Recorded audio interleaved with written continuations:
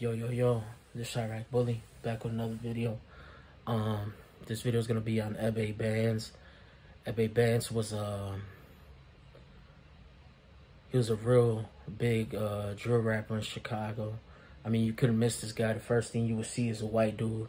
You know what I'm saying? And he went super, uh, I know who he was already, but uh, he went viral for that interview. Um, not the interview, the video when he, he dropped it on um, Vlad's channel, on DJ Vlad's channel. And uh, EBE Bandz, man, was on his way to the top. You know what I'm saying? Um, he had a couple run-ins with going to jail and stuff like that, but it didn't set him back. He kept dropping music over and over again.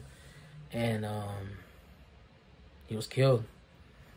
You know what I'm saying? He was killed. Um, just comes to show you, man, you can't trust, you can't trust people, man.